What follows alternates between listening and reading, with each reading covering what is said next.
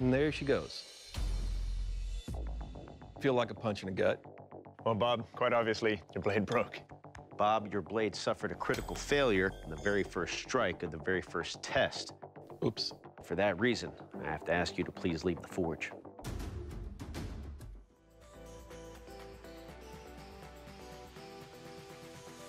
Forged in Fire is a competitive TV show wherein bladesmiths battle for $10,000.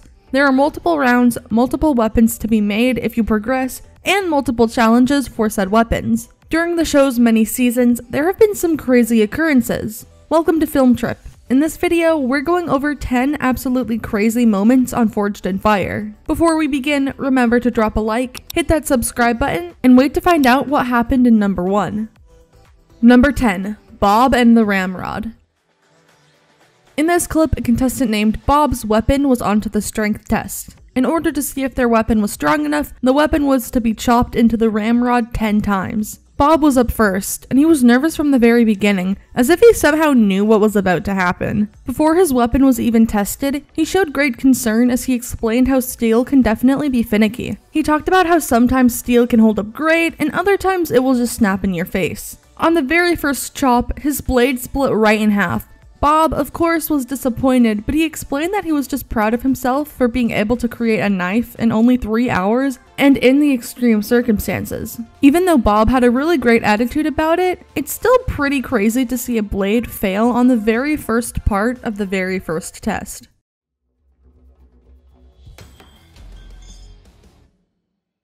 And there she goes. Feel like a punch in the gut. Well, Bob, quite obviously, your blade broke. Bob, your blade suffered a critical failure in the very first strike of the very first test. Oops. For that reason, I have to ask you to please leave the forge.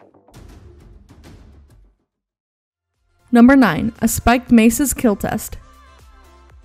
For this round, Sam and Jason, who are the competitors, were told to make a spiked mace. When it got down to the kill test, Sam's weapon progressed nicely and no spikes fell off. Be that as it may, the handle was excessively large and could have even brought about damage to the wielder. When Jason's weapon was tried, five spikes came off, yet it still progressed pretty nicely.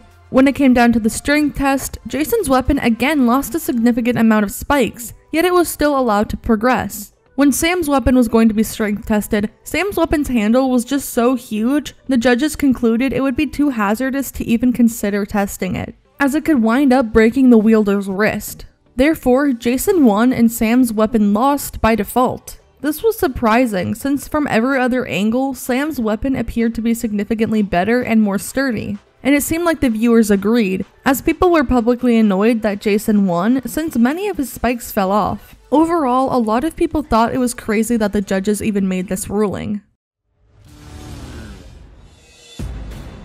Handle's heavier in my head. It's heavy, it's hard to control. Yeah, and especially on this test, it's brutal. It's gonna snap. It's gonna break somebody's wrist. Number 8. Ron versus Ice.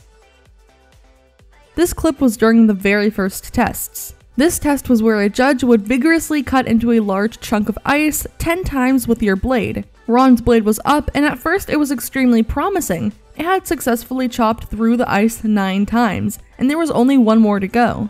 Then, on the very last blow, Ron's blade split. The outer material had separated from the inner steel. The knife had suffered too catastrophic of a blow, and Ron was out. It would be so frustrating and crazy to lose something like that on the very last chop of the round. Oh, Ron, this is definitely a big issue here. Material sheared right away from the, uh, the sprocket steel here. Ron, your blade has suffered a catastrophic blade failure in our strength test. Unfortunately, that means that your blade did not make the cut. I have to ask you to please leave the forge. Thank you. Number 7. Frankish Throwing Axes Kill Test. This test was of the final two competitors. They both had to make a Frankish throwing axe. Both competitors' weapons were solid, making this a very memorable and entertaining kill test. Both weapons were able to give deep cuts upon every blow. Both weapons were also able to completely crush the skulls of the dummies, resulting in gushes of fake blood going absolutely everywhere. Overall, this kill test was extremely crazy to watch, as it was so deadly to the dummies. Number 6. Hanzo Katana Kill Test. This clip is of the two finalists left in the competition. They were both tasked with making a Hanzo Katana, a weapon with only one mission to kill. In the clip, they showed both contestants' weapons against their respective dummies. Overall, both weapons held up well, and both were dubbed as able to kill. This kill test was extremely crazy, as both weapons seemingly destroyed the dummies.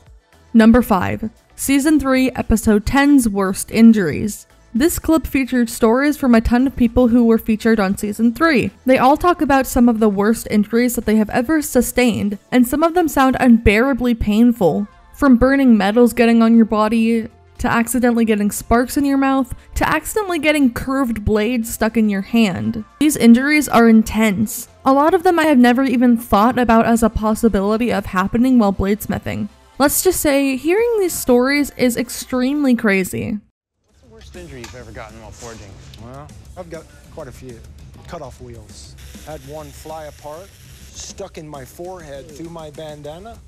So I took a pair of vice grips, grabbed the whole of it, yanked it out. And then I pulled my bandana off and I had a slit into my skull. Number 4. Carl versus a door. In this clip, it's down to the final two competitors. Both competitors had made it to the strength test. For this strength test, both weapons would be repeatedly hit at a wooden door. As the judge is using Carl's weapon to hit the door, he realizes that a piece was about to fall out. He asks Carl about the weapon's construction, and the judge is actually able to pull the piece out from the weapon. Since it would be too much of a safety hazard to just put the piece back and continue hitting, Carl loses by default. We've seen pieces of weapons fly off many, many times, but I've personally never seen a judge straight up pull off a piece of a weapon because it's a hazard. Number 3. Backsword Kill Test. This test was of the final two competitors' backswords. Both weapons ended up doing well, and they were both able to cut all the way through the dummies and deliver a large amount of damage to them. It's always really entertaining watching well made weapons during the kill test, especially when it ends with the dummies getting their head cut off. Billy. First up, I really like the way the Damascus pattern shows in your sword. Now, your handle, it's comfortable. There are no hot spots. Every cut you do with this blade is sharp enough to cut deeply. Overall, your weapon will kill. Thank you very much. Number 2. Jody versus an antler. This clip is to test three competitors' knives. Jody's knife is up, and at first it could take a few hits. However, it does eventually break, and that causes Jody to lose. As Jody leaves, he talks about how he's going to just keep making that same blade over and over again, just to prove to himself that he can. He also talks about how his competitors were so great to lose to, and he couldn't have picked better ones. Overall, I think it's an interesting part of the show how most of the contestants are always so mature when they lose. It's very good to see. My last 18 years in the military has taught me anything, it's adapt and overcome. I'm probably going to make this knife again and again just so I can prove to myself that I can still do it. And number 1 Levi versus Shield. This clip was of the final challenge between Ashe and Levi. Ashe's weapon went first, and it successfully took 9 blows to the shield before splitting. So Levi's weapon needed to stay intact for more than 9 hits in order to win the competition. However, it wasn't even close, as Levi's weapon broke on the first hit, making Ashe the winner. It seemed like the stakes were so high and there was so much tension built up, so it was crazy that Levi's weapon just completely bit it on the very first blow. That was our list of 10 absolute crazy moments on Forged in Fire. What did you think of our list? Which did you think was the craziest? Let us know in the comments. And as always, thank you for watching Film Trip.